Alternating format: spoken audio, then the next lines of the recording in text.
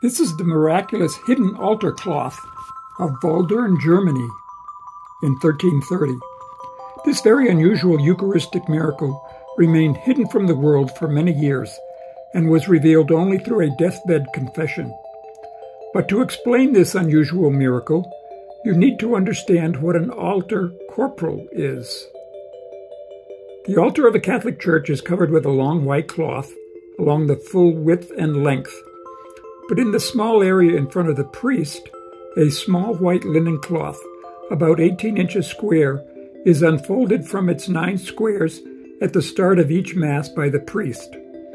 This cloth, called the corporal, is basically the priest's work area, where the chalice and the host are on the brass paten.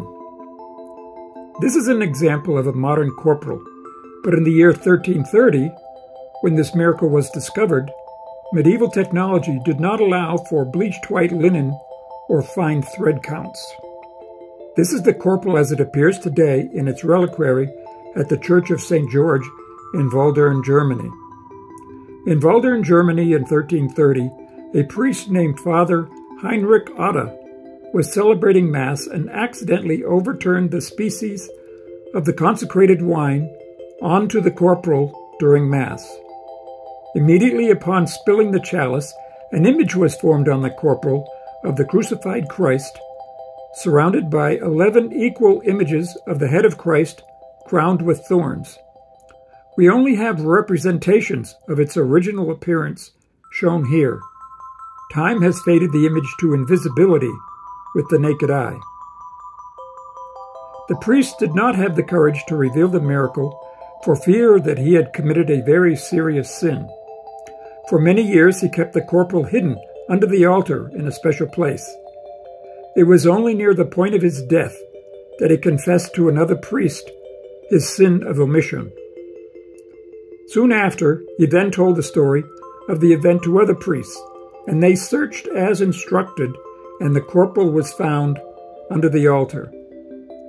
Over the years, the image became more and more obscured so that today only the crucifixion section is visible under ultraviolet light, and only the faintest images of some of the eleven crown of thorn heads remain.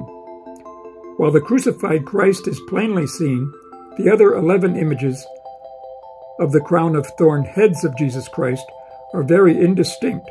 However, their placement corresponds to the contemporary representations. In 1445, the Eucharistic miracle was officially recognized by Pope Eugene IV as being authentic. A beautiful church was built here, the Church of St. George, to house the miraculous corporal.